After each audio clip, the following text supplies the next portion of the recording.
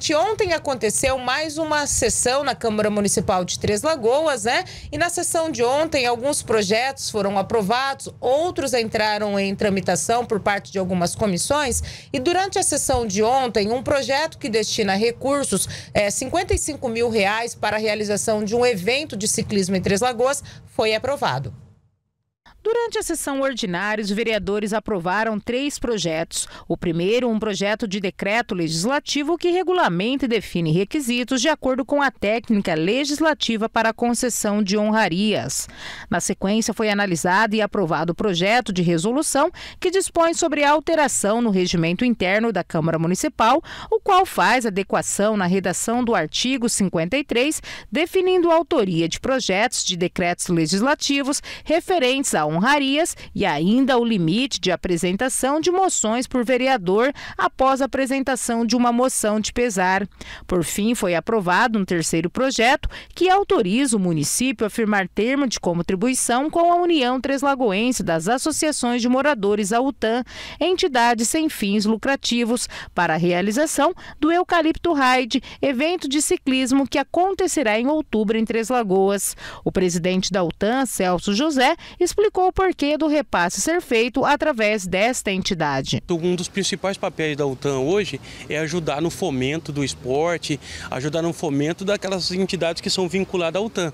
Então, como a UTAN tem extremamente regularizada, a gente está nesse caminho, que para hoje se ter recurso público, a gente sabe que tem alguns ritos que precisam se cumprir. Vai chegar um momento que a Associação Eucalipto Ride ela vai tocar esse evento sozinha. Enquanto isso, a UTAN vem dando esse suporte, esse respaldo para a execução do terceiro Eucalipto Eucalipto Ride na cidade de Três Lagoas. O Eucalipto Ride de mountain bike é um evento para movimentar o esporte. O presidente da Associação do Eucalipto Ride, Jona Costa, destacou a importância do recurso destinado pela Câmara para a realização do evento. Olha, esse recurso, é, na verdade, é o startup do nosso evento. A gente estava tudo no papel, já tudo organizado, só aguardando a aprovação dos vereadores. Eu queria aqui agradecer a todos os vereadores que nos apoiamos, já estamos no terceiro ano de evento, né? É, para fomentar o turismo aqui na nossa cidade.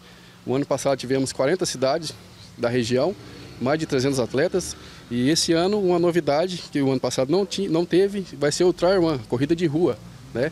Vamos ter a corrida de rua de três modalidades, 5 km, 10 km e a caminhada.